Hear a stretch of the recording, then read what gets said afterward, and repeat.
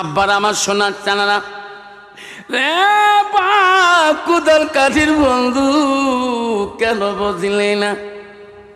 কেন বুঝলে না? এই মাদ্রাসায় কোরআন শিক্ষা রে সোনা। এই মাদ্রাসা কোদাল কাটিতে কোরআন শিক্ষা করা হয়। এই কোরআনকে এত মোহব্বত করে বাচ্চারা, উজু না করা পর্যন্ত বাচ্চারা কোরআন বলায় না, পড়ে না যখন বিটি যখন একটা বাচ্চা কোরআন নিয়ে ক্লাসে যায় খেতে কোরআনে যায়, দেখবেন কতগুলো বাচ্চা চোখের পানি নাল টক্ক কান্দে। আল্লাহ, আজকে আমার পনেরো আয়াত পর্যন্ত মুখস্থ দিতে হবে আল্লাহ। আল্লাহ আমার এখন কেন দম করে যায় হুজুরকে মুখস্থ দিতে পারব কিনা? ওই বাচ্চাটা চোখের পানি ফেলার আগে আল্লাহ বলে পেরেছ তারা তাকায় দেখ রে, আমার বাংলা কেন কান্দে রে? আমার কোরআনটা সিনারে বুকে রাখার জন্য, আজকের জন্য কান্দে রে ফেরেস্তা কানলে। তাকে ও ফেরেস্তা সাক্ষী থাক। ওনার দেহার মধ্যে, কোন কলবের মধ্যে আমি হিস করার মধ্যে আমি আল্লাহ শক্তি দিয়ে দেব। বিশ্ব রসুলের দরবারে গভীর একটি বিধির নাচারা যাইতেছেন বিশ্ব রসুল আকলা জ্ঞান, চরিত্র। নবীজি মোহাব্বতে ইসলাম গ্রহণ করে নেবে বিধিনরা দলে বন্ধ হয়ে যেতেছে রসুলের বাড়ি দিকে। প্রতিরোধ রাস্তার মধ্যে আবুজের সামনে ধরা পড়ে গেল। আবুজের তোমরা কোথায় যাও? এত রাইতে বিধিনরা বলছে, আমরা বিশ্ব নবীর কাছে যাব আবুদুল্লার বেঠান রসুল, রসুলের কাছে যাব আমিনার কলিজার মনির কাছে যাব। কেমন আমরা তার কাছে ইসলাম গ্রহণ করি, মুসলমান হয়ে যাব যতক্ষণ সোহান আবুজল বলছে, না না, তোরা যেতে পারবেন না, জানো না। মোহাম্মদ, আমার সাথে সম্পর্ক কি, তোরা কি বোঝো না? রে ভাই তোমরা মোহাম্মদের কাছে যেতে পারবে না কা? ইনি একজন কঠোর জাদুকর। তোমার চোখে তো জাদু লাগে যাবে যাইতে পারবে না। কেননা আমরা শুনছিলাম বিশ্বনবী মোহাম্মদ রসুল্লাহ কোনো জাদুকর না রে আবুদের আমার তার কাছে কলেমা পড়ি সত্তর বাণী শুনছি। আমার তার কাছে মুসলমান হয়ে যাও যেরকম সোহান আল্লাহ আবু বলছে "যা ভাইরা তোরা যদি যাও, বাধা নাই, কিন্তু আমার একটা প্রশ্ন কি? মোহাম্মদ, জমিনে নিচে সব জিনিসের জাদু করতে পারে, লাগাইতে পারে। উনি কিন্তু আকাশের দিকে জাদু গাগাইতে পারে না, করতে পারবে না। তোরা যদি যাও, ওই মোহাম্মদের কাছে যা বলবা, মোহাম্মদ রে, আমার তোর কাছে কলেমান হওয়ার আগে, মুসলমান হওয়ার আগে আকাশের মধ্যে চন্দ্রটা দেখা যাইলি মোহাম্মদ। এই চন্দ্রটা যদি তোমার নজ আমার নজরে দুখণ্ড করে দেখে দিতে পারো, আমরা কলেমা পরে মুসলমান হয়ে যাও আল্লাহ। বিদিনরা বলছিল, আবু জাহেল আবু জাহেল এই প্রশ্ন আমরা করতে পারব না রে। পৃথিবীর জমিনে এমন কোন নবী আসে নাই। আকাশের চন্দ্র দোখণ্ড করে দেখে দিতে পারে নাই। আমরা এই প্রশ্নটা রসুল্লাহকে করতে পারব না। যেরকম সুবাহান জাহেল, পৃথিবীর কোন নবী দেখাইতে পারে নাই। আমরা তার কাছে ইসলাম গ্রহণ করব। এই প্রশ্ন আমরা করতে পারব না। যেরকম সোহান আল্লাহ আবু জাহেল বলল, তোরা করতে পার, বলতে পারবেন না কয় না আমি তোমাদের সঙ্গে যাব। আমি প্রশ্ন করব, তোরা শুনবেন? ও ভাই রে, তোমার বলা লাগবে না। দেখছেন বেইমেনের কত বুদ্ধি? আবু জেহেলের সঙ্গে নিয়ে দলবন্ধ ওই বিদিন লোকগুলোকে নিয়ে গভীর রাত্রে যায়। বিশ্ব নবী বা দরবারে চলে যায় গভীর রাত্রে ওই বিধিনের দলে না আমার আবু ইমান আবু জেহেল সঙ্গে নিয়ে ওই রসুনের বাড়ি থেকে যায়। আমার রসুনের বাড়ির সামনে আবু জাহেল একটা ডাক মারলেন। আবু জাহেলের ডাক শুনি, আমার নবী তোরাইতে বলে রে, আল্লাহ, আজকে চাষা আমার বাড়িতে কেন ডাকায় রে বাবু, যে চাষা আমাকে দেখতে বলে না, যে চাষা আমার নাম শুনতে পারে না, এত রাইতে চাষা কেন আমার আগমন আমার বাড়ির? যেরকম সোভান আল্লাহ গভীর রাত্রে রসুল্লাহ আবুদেরকে দেখিয়া আমার নবীজি বলছে বাউলা আমার চাষা কোনোদিন এই বাড়িতে পা দেয় না। আজকে এত রাইতে কেন গো চাষা? চাষা গো, ও চাষা এত রাইতে কেন? বন্ধুগণ শুনে রাখেন, যে রসুল্লাহকে, যে নবীকে আবু জেল এত তাড়না কষ্ট দিয়েছিল, এত মারপিট করেছিল, এত জ্বালা যন্ত্রণা করেছিল, সেই নবী আবু জেলকে দেখি রাগ করে নাই, চাচা চরে রাগ করে নাই। আব্বা কত ধৈর্যশীল নবী ছিল। সেই নবী বলছে চাষা এত রাইতে কেন চাষা আপনি আসলেন? যেরকম আবু জেল বলছে, মোহাম্মদ, কেন আসলাম জানো না? তোমার কাছে এনারা দিন ইসলাম গ্রহণ করবে। এনাদের একটা প্রশ্ন, কি চাষা প্রশ্ন কি? আকাশের চন্দ্রটা তোমার নজরে দেখা মোহাম্মদ রে, এনাদের নজরে আকাশের চন্দ্রটাকে যদি দুখণ্ড করে যদি দেখে দিতে পারো। মোহাম্মদ, তোর কাছে ইসলাম গ্রহণ করবে, এই প্রশ্নটা করলাম। আমার কষ্ট মনে করবেন না, কেউ যাবেন না, সোনারা।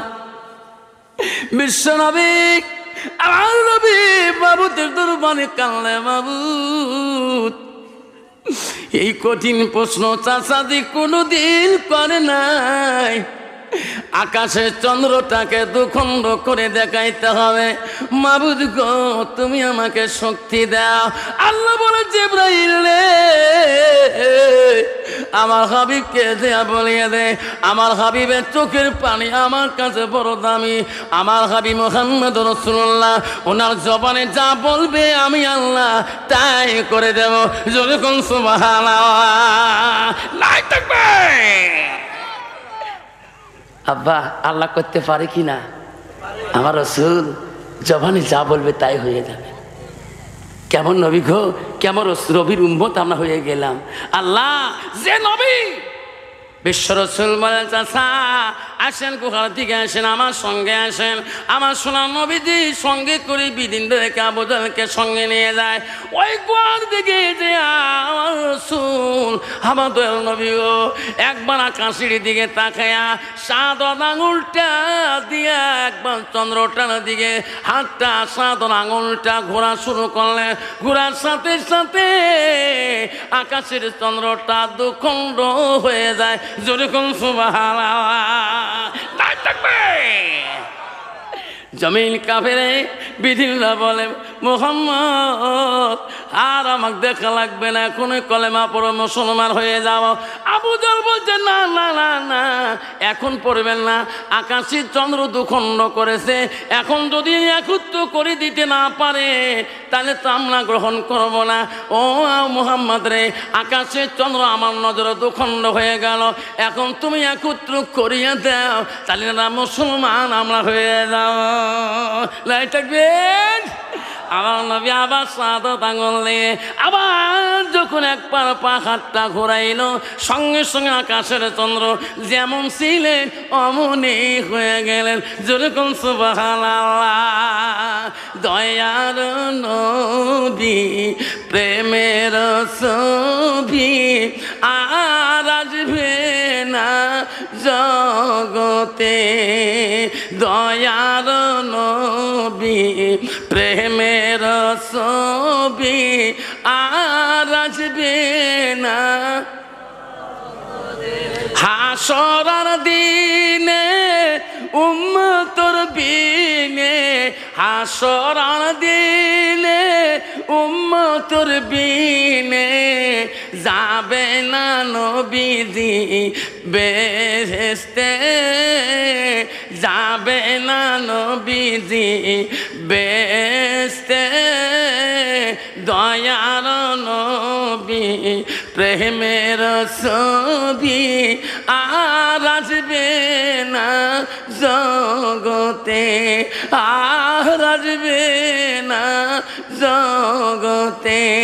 নবী আমার সত্যিকাল জিলদেগি কালসে বড় উন্নতি তে দিল জিলদেগি কালসে বড়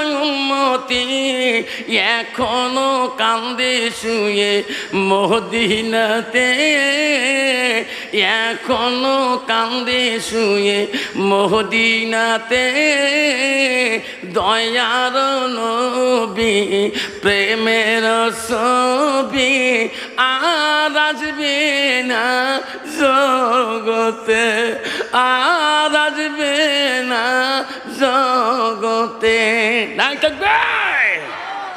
আব্বা, এই মাদ্রাসাটা কার বাড়ি? নবীর বাড়ি, সব এখন মাদ্রাসা কার বাড়ি? আরও জোরে বলেন। আরও জোরে বলেন। এই নবীর বাড়ি হবে কারও শত্রু আছে বাবা? কারখানায় হাত তুলে দেখাই বাপ। হুজুর, শত্রু তো আমার নাই। এই মাদ্রাসা নবীর ঘর, নবীর বাড়ি। আমরা সবাই ভালোবাসলে নবী আমাকে ভালোবাসবে। নবীর বাড়ি শত্রুমি করলে, নবীর বাড়ি দুশ্মনী করলে আমার রসুল আমার নবী কোনোদিন সাবায়ত করবে না। তোমাদের জায়গায় নাই বহু জায়গায় আছে বাবা। নবীর ঘরের সাথে শত্রুমি করে। আবারে খবরদার, এই নবীর বাড়ি, এই এই ইসলামের কেন্দ্রের মধ্যে কেউ যদি শত্রু করে, এই শোনা মানে রাখি যেখানে কোরআনের আলোকিত হয়, কোরআনের নূর জ্বলে, যেখানে কোরআনকে হিমস করা হয় আল্লাহ, একটা তালি এলিম বাদশাহ, আল্লাহ রসুল হাদিস বলেছে, একটা তালি এলিম রাস্তা যখন যে রাস্তা দিয়ে চলিয়ে যায়, পথ দিয়ে চলে যায়, ওই এলাকায় রাস্তা যদি একটা কঠিন কবরও থাকে, আল্লাহ চল্লিশ দিনের জন্য কবরটাকে মাফ করে দেয়। যেরকম সুহান আল্লাহ যেরকম সুহান আল্লাহ আল্লাহ, যুবক মাদ্রাসার দিকে যাচ্ছেন বহুত বন্ধুদের সঙ্গে যায়, কিন্তু কত দুষ্ট মহিলাও থাকে, ভালো ছেলেকে ভালো ভালো ছেলেকে কত মেয়ে? ভালো ছেলে খোঁজে। আর ভালো ছেলে ভালো মেয়ে খোঁজে। যেরকম ঠিক না ঠিক? আব্বা, পৃথিবীতে পৃথিবীতে একজন আল্লাহ এমন একজন নবী রূপ দিয়েছেন, যার রূপে মহিলারা পর্যন্ত পাগলে মহিলিত হয়ে গেছেন, মোহিত হয়ে গেছেন, যার রূপে জেলেকা মোহিত হয়েছেন। যেরকম সোভান আল্লাহ একদিন জলেবার জেলেখার কাছে তারা বান্ধবীরা আর্জি করলেন অ্যাপ্লিকেশন করলেন। জেলেখা, তুমি আমার বান্ধবী হও। আমরা শুনছিলাম তোমার স্বামী বলে বহু রূপপতি একটা দিন আমার, তোমার স্বামীর সাথে আমার দেখা করতে হবে। জেলেখা বলছে, না না, আমার স্বামী আল্লাহওয়ালা। ইনি একজন নবী। ইনি বিনা পারমিশনে কোনো মহিলার সাথে কথা বলে না। যেরকম সোহান আল্লাহ দেখো বান্ধবী, তুমি আমার কেমন বান্ধবী? একটা দিনকে কথা বলা যাবে না। জেলেকা বলছে, কথা বলতে পারবেন না, দেখতে পারবেন, কিন্তু কাজে ব্যস্ত থাকতে হবে। আপনার নিয়ত হবে, আমার বিয়ের একটা আইটেম করব। ওই আইটেমে আপনার আসতে হবে। কাজের মধ্যে ব্যস্ত থাকতে হবে, কাজ করতে হবে। আমার স্বামী স্বামী বুঝবে, ইনার বাড়ির কাজ কাজ কর। বাড়ির কর্ম করতেছে। কিন্তু যদি নিয়ত থাকেন, দেখব, তার দেখা দিবেন ঠিক আছে, কাজ করব। সব মেয়েরা কাজ লাগিয়ে দিছে। আমি এই রুম থেকে ওই রুমে নিয়ে যাব। যে লেখা, সমস্ত বান্ধবী, কেউ দিছে আলু করতে, কেউ দিছে পিএস করতে, যার যেটা লাগে দেওয়া লাগে, ব্যস্ত থাকো। কিন্তু বাবা, ইসুফ নবীকে যখন জেলেকা নিজের স্বামীকে হাত ধরিয়ে এই খাত থেকে আগ্নে দিয়ে ও রুমে চিয়ে যাবে, তখন মেয়েরা পাগল হয়ে গেছিল। জেলেখার দিকে তাকাইয়া জেলেখার স্বামীর দিকে তাকাইয়া ওই মেয়েরা তার বান্ধবীরা আলু কাটতে, পিঁয়াজ কাটতে নগুলে দি পড়ি গেছে, হুশ নাই। কারও দি ছিঁড়ি গেছে, হুশ নাই। জেলেখা আসি বলছে, বান্ধবীরা আমার স্বামীকে দেখছেন? কয়টা মানুষ গেল না কে গেল? জেলেখা বলছে, তোমার হাতে রক্ত কেন? কো? দেখে নবিলের মাথা কাটি চলে গেছে।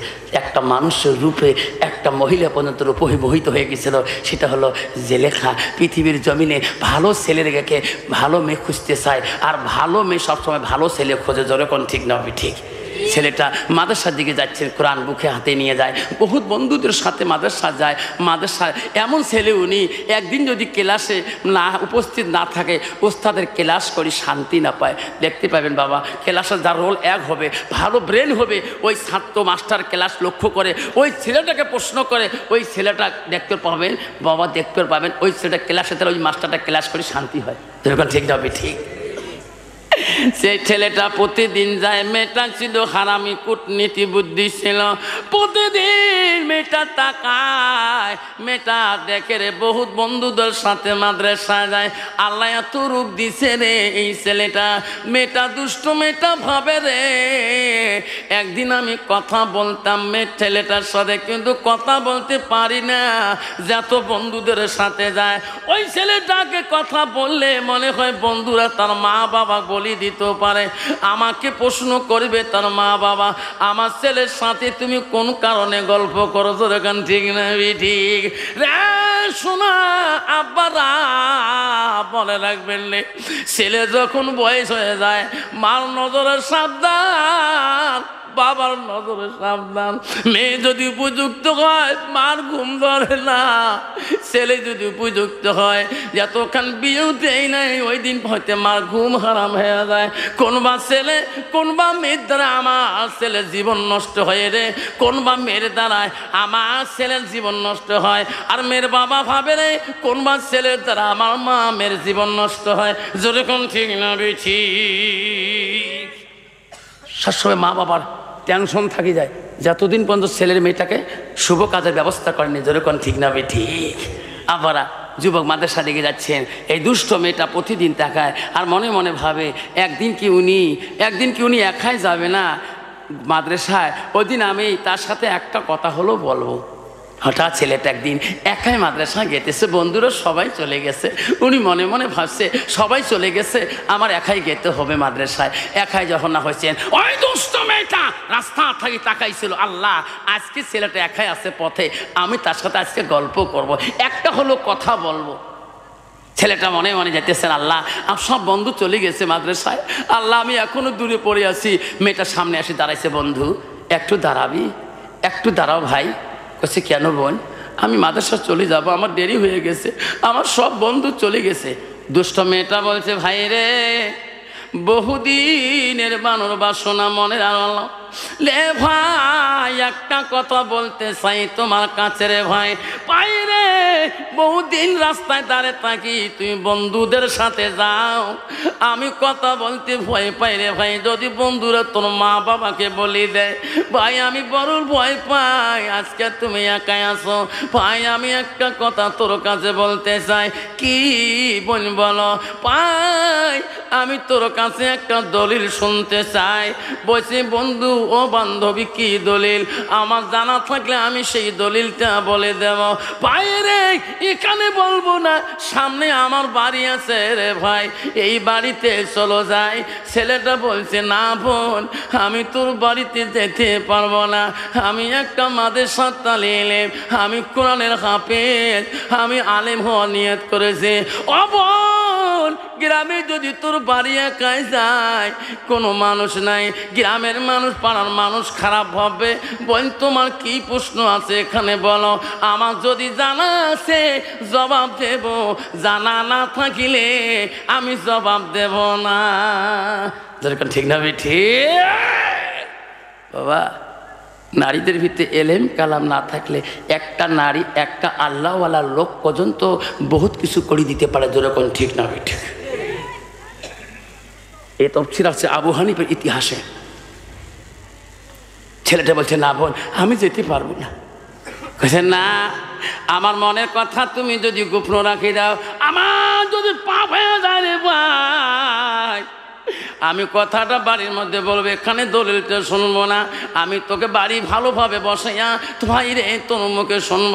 আমি সেই জন্য বহুদিন থেকে রাস্তায় দাঁড়িয়ে থাকি। ছেলেটা মনে মনে ভাবলো, আল্লাহ, এই বোনটা যদি একটা খারাপ কাম করে থাকে, যদি মেয়েটা যদি সংশোধন হয়ে যায়, আল্লাহ মেয়েটা খারাপ কাম করবে না। ছেলেটা অন্তরে ছিল সাদা মনে। ছেলেটা বলো বোন, তাড়াতাড়ি চলো। কি দলিল শুনতে হয় আমাকে বলো। মেয়েটা বলছে, ভাই রে, তুমি বলে মাদ্রাসায় গেলে বলে সব উস্তাদা গুটি হয়ে যায়। তুমি বলে কোরআন পড়লে উস্তাদের চোখের পানে আসি যায়। আমি সবার মুখে শুনছি, রে ভাই তোমায় যদি ক্লাসে একদিন ক্লাস কোরআন পড়ো, তোর ওস্তাদরা বলে কোরআন শুনি পাগল হয়ে যায়। আরে, ছেলেটা বলছে, বোন, আমি বাড়ির ভিতরে যাব, বেশি সময় নষ্ট করব না।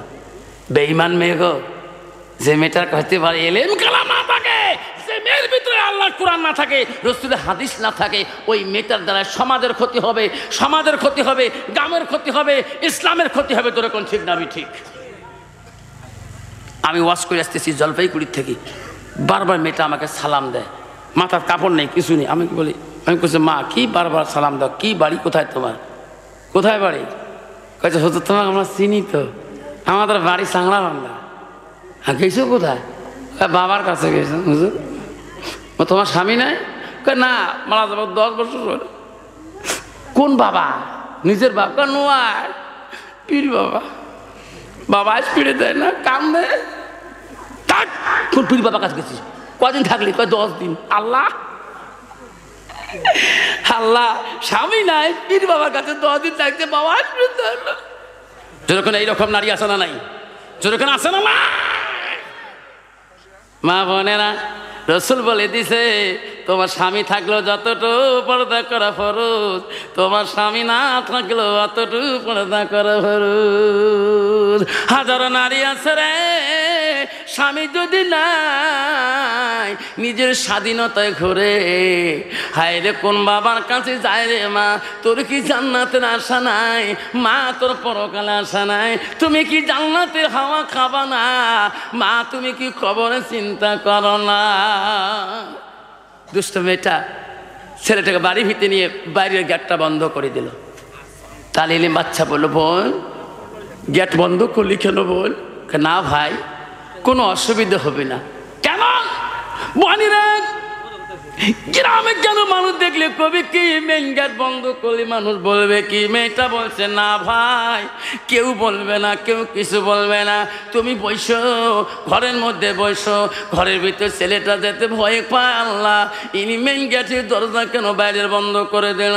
ছেলেটা মনে মনে চিন্তা করে, আল্লাহ আল্লাহ, তুমি হিফাজতের মালিক আল্লাহ। আল্লাহ, তোর কোরআনটা আমার বুকে সিনা রাখছি আল্লাহ। আমাকে যখন স্মরণ তখন আমি মুখস্থ বলতে পারি। কোনায়াত হয় আল্লাহ সব বলতে পারি। আল্লাহ তোর কাছে ভাগে দিতে পারব না। মেয়েটা যখন ঘরে ঢুকালো, মেয়েটা ঘরের দরজাটা লক করে দিল। ছেলেটা বলো বোন, ঘরের দরজা বন্ধ কেন কেন? কইছে, ভাই রে, আমি এতদিনের মনে আশা বাসনা, আমি তো দলিল শুনতে আনি নাই। ও ভাই রে ভাই, আজকে আমি কেন আনলাম? মনের আশা পূরণ না করা পর্যন্ত আমি দরজা খুলে দেব না। ছেলেটা কাঁদছে মাবুতের ভয়ে, কার ভয়ে? আল্লাহর ভয়ে। কার ভয়ে কাঁদে?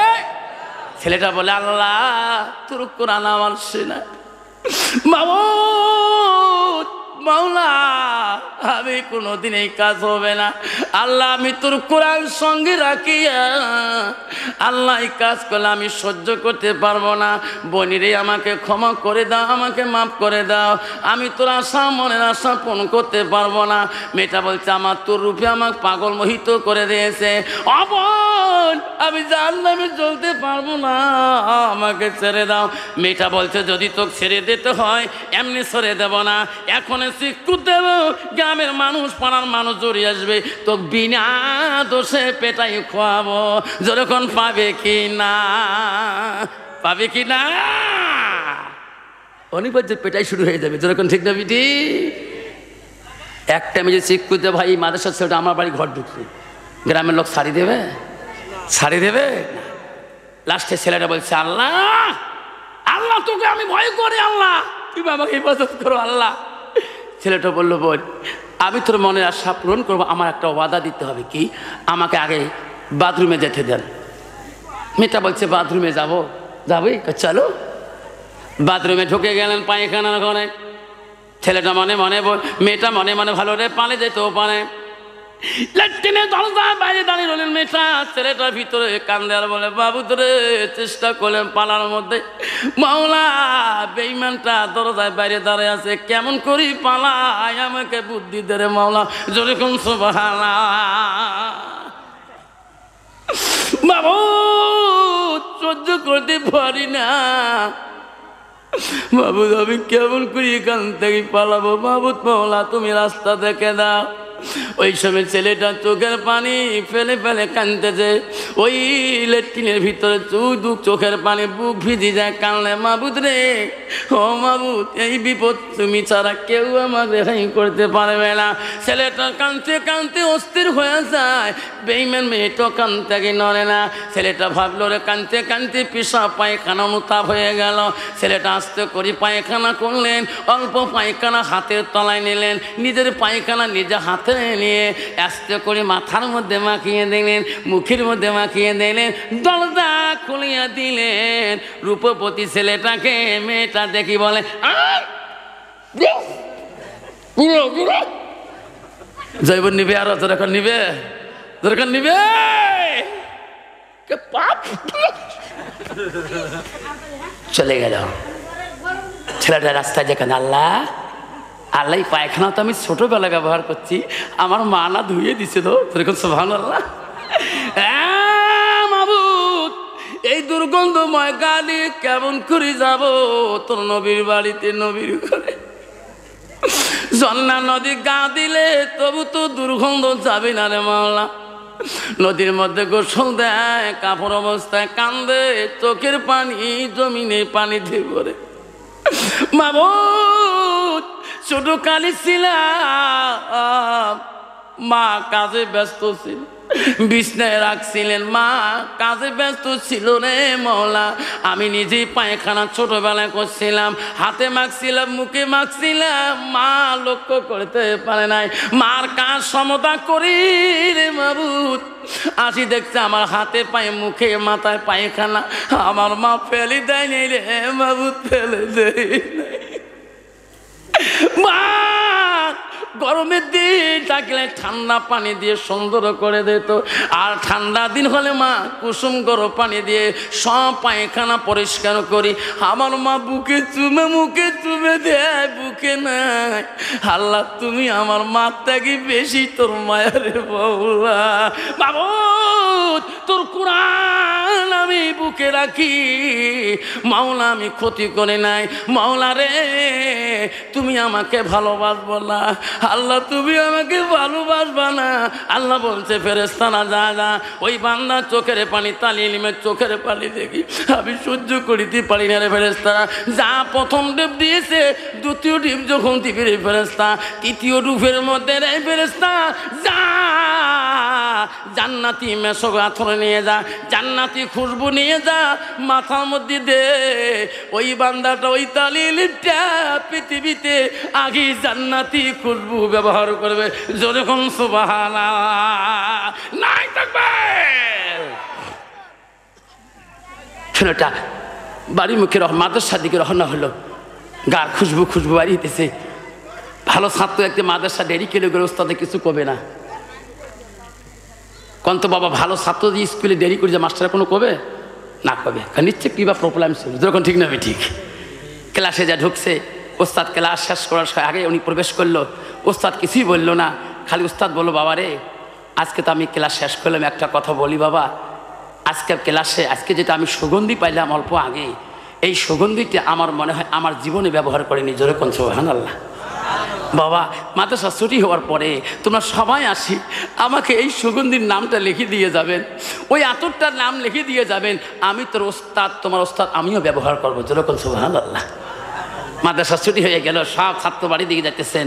আর ওস্তাদ বলছে দাঁড়ান তোমাকে বলছি না, ওই খুশবুটার নাম লিখে দিয়ে যাও, ওই আতরটার নাম লিখে দিয়ে যাও। ওস্তাদজি আমার কাছে ওই আথর নাই, ওই খুশবু আমরা ব্যবহার করি। ওস্তাদ যে যে ছাত্রটার বন্ধুটার কোরআন শুনলে আপনি চোখের পানি ফেলে কান্দেন। আজকে দেখি ওনার গা দিয়ে আমরা সগাই সুগন্ধি পাতেছি। ওস্তাদজি যা, ওই ছাত্রটাকে আপনি দেখান আমার কাছে ওই খুশবু তো আমার কাছে নাই। যার কোরআন পড়লে আপনি শুনলে কাঁদেন তার কাছে শুনতে পারেন। ওস্তাদ ডাক দিয়ে বলে, বাবা, আইসো অফিসের দরজা আইসো রে শোনা। বাবা, তুমি কি খুশবু আতর ব্যবহার করো? বাবা রে, আজকে আমি মাদ্রাসা যে দিকে যাই, সেই দিকে সেই খুশবুটা কেন পাই? আমাকে লেখি দিয়ে যা রে বাবা। আমি তোর উস্তাদ, আমিও ব্যবহার করব। ছাত্র বলতো এই খুশবুর নাম কেন বলেন?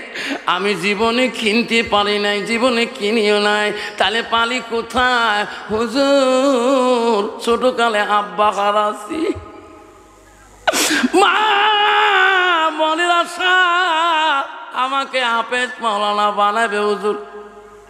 বাবার মুখ ভালো করি খেয়াল নাই কৌজুর মা মানুষের বাড়ির কাজ জোগালি দিয়া, আমার এই এলেমের খরচ আমার মা হুজুর, আপনি আমার কাছে চান করব, কেমন করে পাবো? হুজুর, আমার মার কত আশা, মার কত বাসনা। আমাকে আলিম বানাইবে, আমাকে হাফিজ বানাইবে। ও হুজুর গো, সেই মার কাছে আমি কোনোদিন একটা খুঁজবো কেনার মতন পয়সা চাই না। হুজুর গো, সব বন্ধুদের পোশাক কত দামি। আমি এক পোশাকে প্রতিদিন আসি। ও হুজুর, আমি কোথায় পাবো? আজকে যদি আমার আব্বা থাকতো, আজকে যদি আমার আব্বা থাকতো, আমি যদি মাদেশায় আসতাম, আমার আব্বা কমপক্ষে আমাকে বছরে ছয় মাসে একটা কাপড় চেঞ্জ করে দিত। হুজুর গো আমার মা মানুষের বাড়ি কাজে ব্যস্ত থাকিয়ে, মা আমার নামাজ পড়িয়ে আমাকে এলেম শিখানো চললে আবার বছর দুখালি দেয়। হুজুর, আমি সেই মার কাছে খুশবসা নিয়ে খুশবু কিনতে পারি না। বাবা, তোর গায়ে তো সুগন্ধি কনে কেন? হুজুর, এই বৃত্তান্ত হয়েছে, এই ঘটনা হয়েছে। আমি নদীতে গোসল দেওয়ার পরে লাশ যখন মাদ্রাসামুখী হয়ে গেলাম, তখন থেকে আমার গায়ে তো সুগন্ধি লাগে হুজুর, আমি নিজে বুঝতে পারি না। হুজুর বলে, ব্যথা। আমি জানি পাইলাম রে বেটা রে, এটা দুনিয়া সুগন্ধি না রে বেটা রে বেটা। আল্লাহর কোরআন তুমি ভয় করেছ রে, আল্লাহর কোরআন তুমি শুনে রাখি। ও বেটা রে, তুমি আল্লাহর কাছে সাহায্য চেয়েছো, আল্লাহ তোর উপরে খুশি হয়ে, ওরে ব্যথা আরে, আল্লাহ তোর জান্নাতি খুশবু দিয়েছে রে ব্যথা যেরকম সুবান আল্লাহ বেটা, আমাকে এতদিন কেন বলো নাই? তোমার আব্বা নাই, আমাকে এতদিন কেন বলো নাই? আমি মনে করছিলাম তোমার বোঝা পরিয়ালে সব কিছু আছে। এই জন্য আমি দেখছি তোমার পায়ের জুতে নাই। তুমি খালি পায়ে মাদ্রাসা আইসো বেটা। আমাকে তুমি এতদিন কেন বলো নাই বেটা, আইসো। আমি আর তোকে খালি পায়ে মাদ্রাসা আসতে দেবো না। আসো, আমার একজন ব্যবহৃত জুতে আছে, তুমি নিয়ে যাও বাবা। পরিষ্কার করিয়া পায়ে দিয়ে আসবা, আর ঠান্ডা লাগবে না। কন্ত বাবা ওস্তাদের ওস্তাদের দানি বস্তু, ওস্তাদের দেনওয়ালা বস্তু কেউ ফেলে দিবে বাবা। ওস্তাদ জি দেন। আর খালি পায়ে আসব না। ওস্তাদের জুতা বুকে নিয়ে কান্দে মাবুদ রে। আজি যদি পাবো তো আব্বা থাকতো রে বাংলা আমি আমার উস্তাদের পায়ের জুতা বুকে নিয়ে যেতাম না। মাবুদ আমার আব্বা কবরে পড়ে আছে। বাচ্চাটা বুকে জুতে নিয়ে নিয়ে যায় বাড়ির দিকে বলে, মা গো, কে আব্বা কান্দিস কে? মা, সব বন্ধুদের পোশাক চেঞ্জ হয়ে আসে, মা। মা, আমি খালি পাই যাই। আজকে আমার আব্বার মারার খবর আমার উস্তাদ জানলো। মা গো, আমি খালি পাই যাই, উস্তাদ কষ্ট পায় মা আমার উস্তাদের ব্যবহার তো জুতে দিয়েছে, মা। জুতেগুলি পরিষ্কার করে দিবা মা আমি পরি কালকে মাদ্রাসায় যাব, যাতে আমার উস্তাদ আমার উপরে সুখ পায়, মা, খুশি হয়ে, মা। মা বলো সোনা কান্দিস না, কেন কান্দা লাগে? আমি তোকে আলেম বানাবো রে, তোকে না হাফেজ বানাছি। এখন তোকে আলেম বানাবো। ও ব্যথা রে দুহ করবে রে বেটা। আমি পরিষ্কার করে দেবো তোর উস্তাদের দানিস দুটা দান করেছে, আমি কোনো দিন ফেলে দিতে দেব না। জোরে কোন সুবাহান রে আব্বা, শুনে না কেন আব্বা, আমার রসুল বলল, মানুষের মৃত্যুর পরে মানুষের সৎ আমল গোলা, নেক আমল গোলা, পৃথিবীর জমিনে সব বন্ধ হয়ে যায়। রসুল বলে ইল্লামিন তিনটা আমল কবরবাসী বন্ধ হয় না। আমার রসুল বলল সদা কাতুল জানিয়া দুনিয়াতে, পৃথিবীতে ওই মানুষটা যদি সাদগাজারি হিসাবে, দান হিসাবে ওই মার নামে, বাবার নামে, ভাইয়ের নামে, নিজের আত্মীয় স্বজনের নামে, দুনিয়ায় যদি সাদগা দিয়ে যায়, সাদা কাতল জানিয়া আল্লাহ নবী বলল, পৃথিবীর সব আমল বন্ধ হবে, সাদগা জারিয়া নামে যেটা দান করা হবে, ওই দানটা কবরবাসীর জন্য বন্ধ থাকবে না, যাই যেটাই দিবে, সেটাই সব কবরবাসী পেয়ে যাবে। নাই থাকবে?